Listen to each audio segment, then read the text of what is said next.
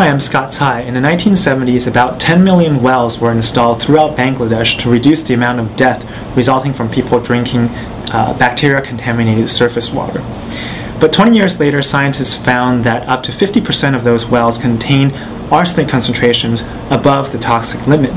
As a result, between 35 to 77 million people in Bangladesh today uh, drink arsenic contaminated water are, and are at in- increased risks of skin cancer and skin lesions. One of the key challenges is the frequent monitoring of the wells. The World Health Organization has a defined toxic level for arsenic that's 10 micrograms per liter. Our goal is to develop a safe, simple to use, and accurate technique that detects such low concentrations of arsenic. In the first step of our technique, the user takes a sample of water from the well and puts in magnetic rust particles that bind naturally to the arsenic nanoparticles.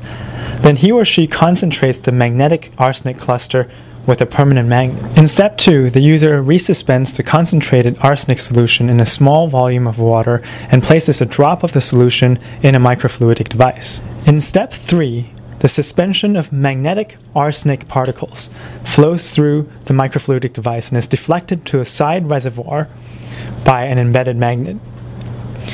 We will design the reservoir in such a way that if it is completely filled, it indicates an arsenic concentration above the toxic limit. In the final step, uh, we will design a mobile phone application that will allow the user to take a picture of the reservoir and determine whether or not it is completely filled. We have recently developed mathematical models verified by experiments that predict the trajectory of the magnetic objects inside microfluidic channels. We will be collaborating with a physician, Dr. Uzul Sikder, in rural Bangladesh. As we develop our technology, we will send him sample devices for him to do field tests in village wells. We hope that our technology will help the rural communities in Bangladesh to monitor their wells and improve their health.